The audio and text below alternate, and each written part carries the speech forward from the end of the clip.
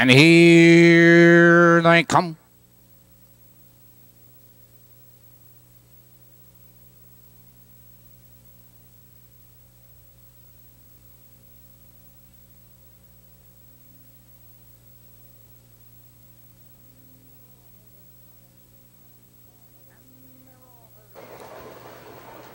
And they're off. There goes Silent Biz coming for the lead. Kit Wellmanor, Dixie J. Carroll. Into the turn there is Silent Biz. Now takes command. It's Kit Wellmanor. Second by two lengths. Dixie J. Carroll right there and third. It's Quadrille and fourth. Lake Hills Beth. Followed now by Twilight Skipper. It's Musical Ride and Stacy Elmerhurst as they head for the quarters. Silent Biz has the lead. Two lengths. Kit Wellmanor. Second two lengths. Dixie J. Carroll. Quadrille a quarter. 29 and 3 the quarter.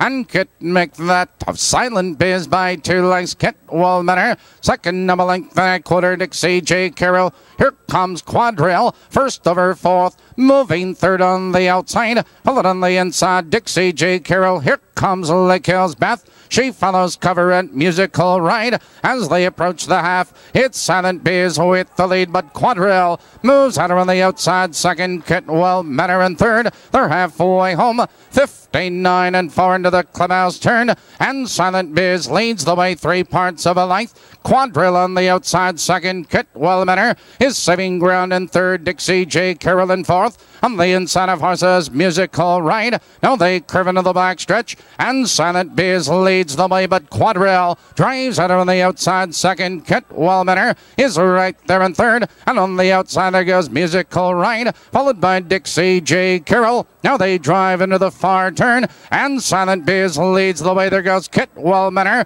charging through on the inside, followed on the outside by Quadrille, and on the inside of horses, Dixie J. Carroll. Here they come, turning for home. Silent Biz cuts the corner. Here comes Kit Wellmanor, and she's out for the drive. It's Silent Biz with the lead. It's Kit Wellmanor. Here comes Kit Wellmanor with a rush. It's Kit Wellmanor, fastest of all. It's Silent Biz, close for third. Musical Ride.